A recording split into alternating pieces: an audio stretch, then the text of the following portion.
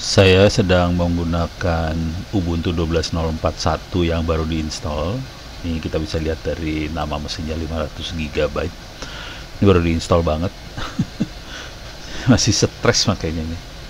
Uh, untuk ngecek IP address nyebelin banget. Sudo sudo dulu ya. Oke, clear layar.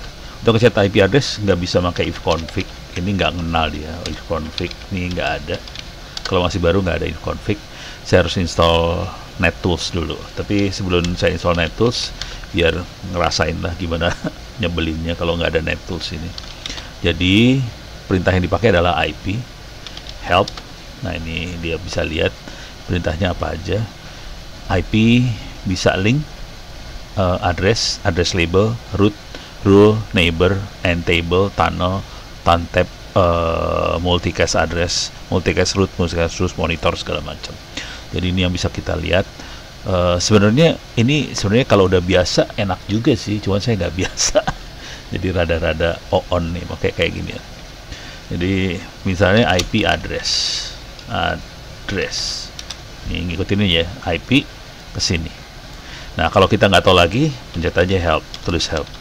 Selanjutnya perintahnya apa bisa gini IP address add change replace ini contohnya IP address delete bisa juga, IP address save flush bisa juga, atau IP address show.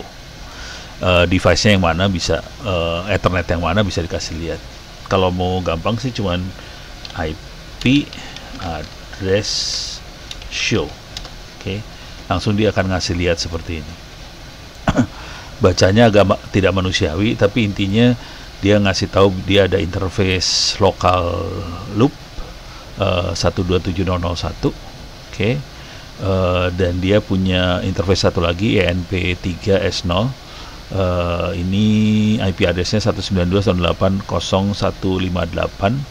uh, broadcastnya segini scope-nya global dynamic berarti dia bukan static IP oke okay. uh, tidak ada routing no prefix root. Oke. Okay. nah sekarang supaya hidup saya rada enak saya pengen pakai if config jadi harus saya install dulu apt install nettools karena biasa pakai yang ini sih. Udah bertahun-tahun belasan tahun pakai kayak ginian suruh pindah. Males juga sih. Ya kayak biasa pakai Windows suruh pindah ke Linux. Males kan? Ini juga sama sih cuman masih Linux ke Linux oke sekarang udah jalan. If config udah bisa hidup sekarang. Jadi saya udah kebiasaan ngeliat yang ini jadi pencet if config keluar.